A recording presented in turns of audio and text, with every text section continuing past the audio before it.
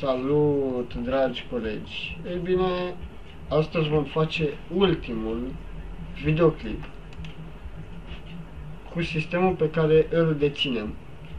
Da? Haideți să vorbim de ce mi s-a întâmplat mie și după aia o să vă povestesc mai departe cu sistemul nostru. Ei bine, două secunde să se recrește aici. Acum ceva timp mi-am cumpărat și un scuter de la un nene din Pantelimon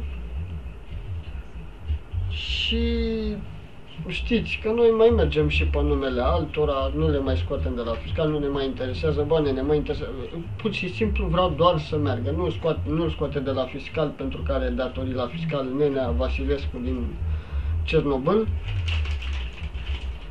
și tu vrei să folosești scooterul, doar să nu-l scrii pe numele tău, nu te mai interesează al cui nume este.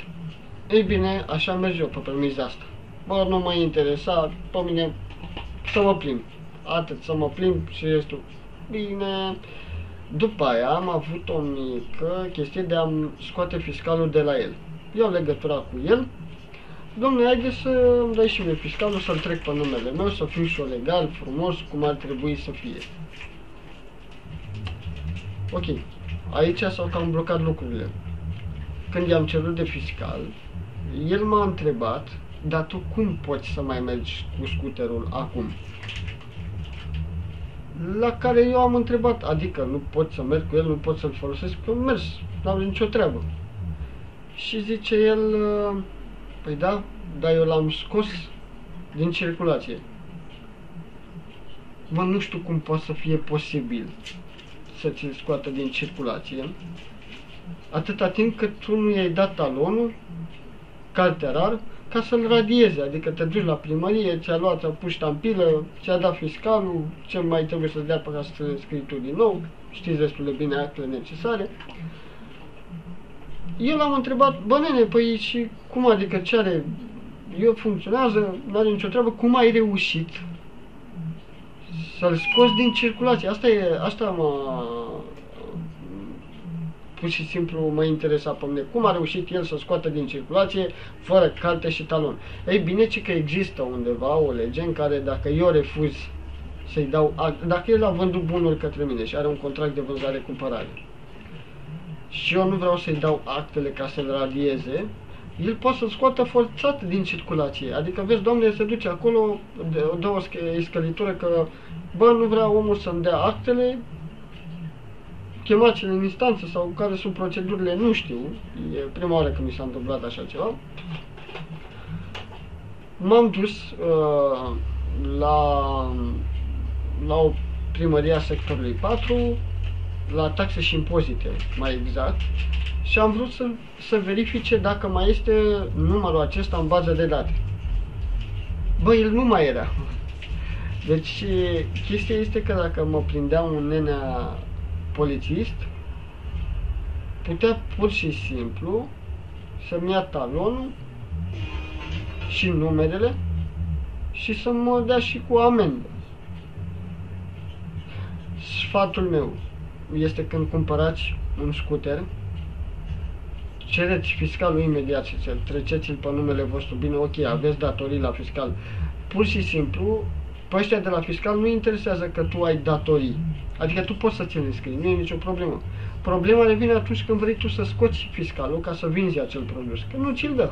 Ai datorii. Nu are cum să-ți dea fiscalul. Pentru că tu ai datorii. După ce ți-a chis datoriile, tocmai atunci îți poate eliberație fiscalul. Așadar și prin urmare, subiectul principal este nu încercați să nu mai mergeți cu scuterele pe numele altora, plus de alta, plus de altfel, pur și simplu tu nu beneficiezi de asigurare. Adică, ok, e pe numele lui Pârcă, nu știu cum, ce nume să-i pun eu acum, ca să înțelegeți. Voi e pe numele lui Pârcă, da?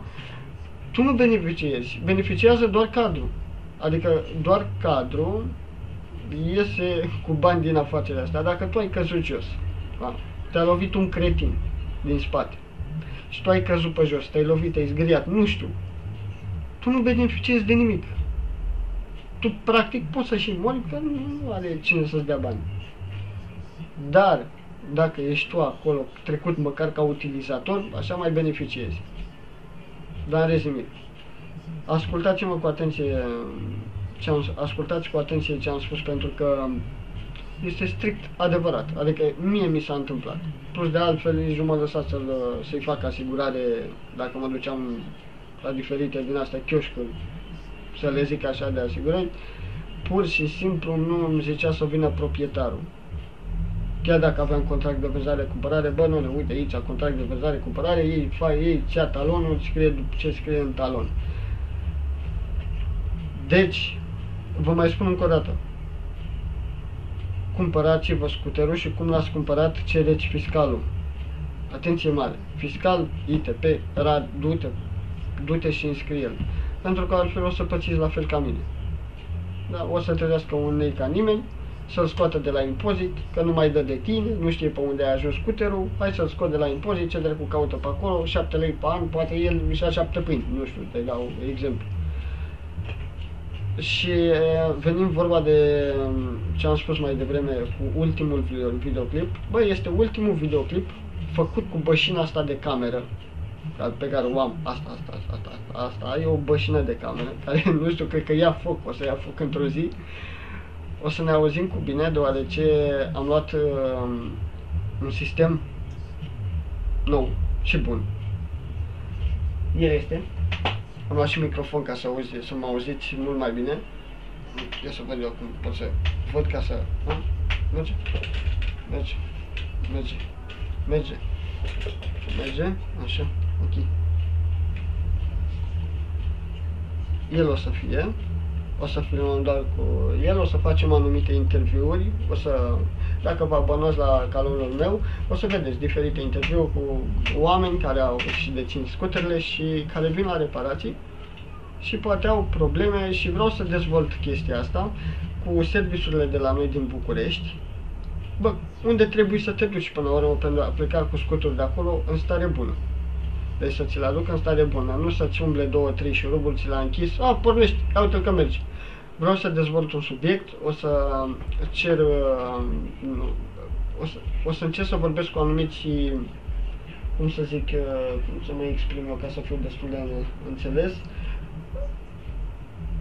administratori ai serviciului, să vorbesc cu ei, să... Iertați muzica, manele stuflare. Așa.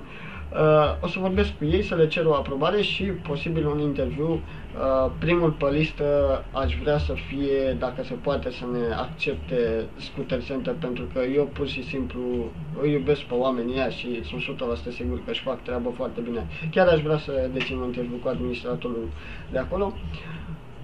Ne auzim, o să vă pun niște videoclipuri pe aici prin, uh, nu știu, prin imagine, că nu sunt uh, profesionist să știu cum să le agăț unde pe stânga, pe dreapta, etc. Așa că băieți, uh, join la canal dacă vreți să mă urmăriți mai departe. Vă mulțumesc frumos că sunteți alături de mine și grupului, că este destul de mare. Am depășit 1000 de persoane pe grup. Vă mulțumesc frumos!